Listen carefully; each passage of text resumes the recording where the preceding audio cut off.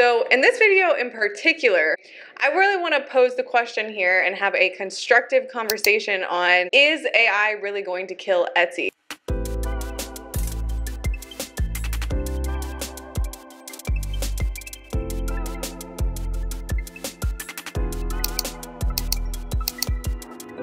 Alright guys, so I recently posted this video here of how I was showing people that you can basically use AI to help you design some Halloween themed coloring pages that you can sell on Etsy as digital downloads. What I realized there is actually quite a few Etsy sellers out there that are really, really against the use of AI generation in Etsy shops. We got comments in here like, clear betrayal to artists I've been watching your videos for a while. I'm so let down.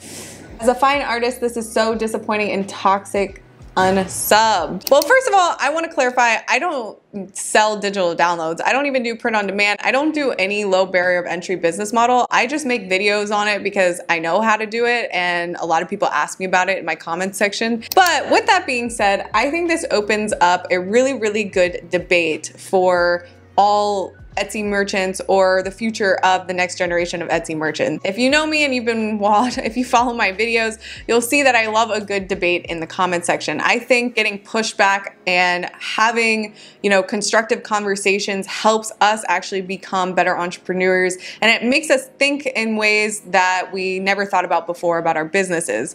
So I'm not saying go and spread hate in the comment section, but getting constructive criticism is a really positive thing in my opinion, like 100%. That's why in this video, I really wanted to open up that conversation about artificial intelligence and the use of it in Etsy businesses specifically. And I'm gonna share my personal opinion, but I'm also super curious to hear what all everyone else's opinion is down below. And now this is not giving you guys free reign to just be bullies in the comment section and be mean, right? That's not what the comment section is for, right? You can have a constructive conversation and you can have your opinions and respectfully disagree with people without being hateful or mean. Let's not do that.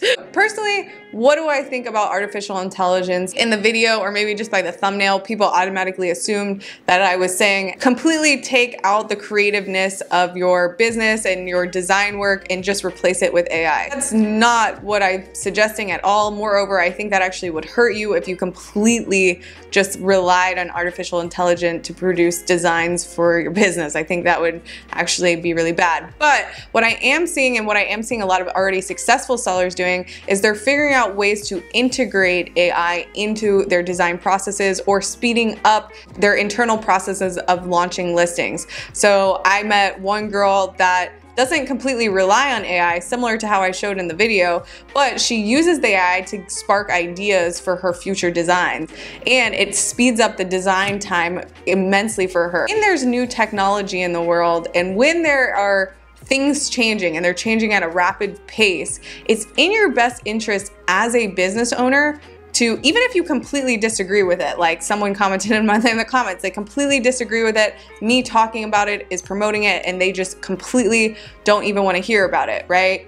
But in my opinion, when you're a business owner and there's some new form of technology or a faster or a better way, not necessarily that it's better yet, but potentially a, a, threat that, that it could be better than you one day, it's in your best interest to not be negligent as a business owner and have a full understanding of its capability, especially if it's a threat to you.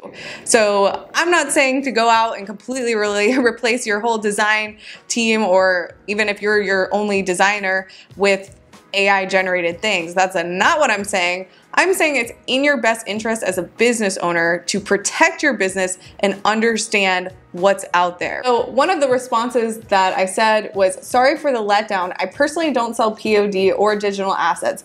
I'm just sharing how you could run a shop with the aid of this, which unfortunately is what's going to happen in the upcoming years. So sellers in these spaces can either change and grow with the times or they can get drowned out. So it's inevitable that it's coming, so you might as well to choose to swim instead of sink.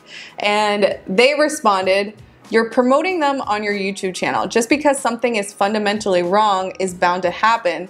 Doesn't mean that you should get on board. Promote it and then promote it to others. That's like saying climate change is inevitable, so I might as well promote fossil fuels. Just because you can sell something doesn't mean you should. We all have a choice. And I agree with you. You shouldn't just do something just because it's inevitable, right? I 100% uh, agree. But right where I where I respectfully disagree is with the idea that AI is fundamentally wrong, right? And so that's the key difference in my personal opinion. And what I'm saying is is I don't I don't think if you're using AI to aid your your work in your business on Etsy is fundamentally wrong. I think that eventually if you don't integrate some form of artificial intelligence into your business model and know how to use it, you will get drowned out eventually. So if you want to compete in these spaces, it's in your best interest to understand, maybe don't use it, but at least have an understanding of the threat that's out there that is going to eventually work against you. Scary about AI is that all this design stuff and is this is only the first generation of it, right? In the next year, the next two, three years, right? It actually is probably going to be better than us. So that is a huge threat to your business, especially if your business is design heavy, selling POD or digital downloads. So if you have a store working at a max capacity, but now you have another store that is also working at max capacity, but with the use of AI, outflow of what this shop is going to be able to produce versus yours is just going to be significantly higher. And it's important to understand that that is probably what's coming in these types of spaces. How I would correlate this to my own business is like, say there was a machine that came out with that with one press of a button it could literally print the same product that I'm hand producing with the use of employees basically. There's many many steps that go into manufacturing our products especially in-house in America. We manufacture everything here. But let's say now a competitor down the street just bought a machine to basically produce the same thing as us. And with one click of a button, they can not only produce more, but they can produce more variation of what we're selling. Now all of a sudden that business just became so much more competitive. So even if we're working at our complete max in our business, this guy's always gonna beat us, right? So it's in our best interest to be educated on what is out there. Another example to the example of the climate change, I would argue that it is not comparable to climate change at all, right? Right? Technology is coming and it's coming fast. It's kind of like choosing a landline over an iPhone when the iPhone came out, right? But now an iPhone comes with a lot of pros, but there's also a lot of negatives that comes with having that much power in your hand. But are you going to choose the iPhone or are you going to choose the landline?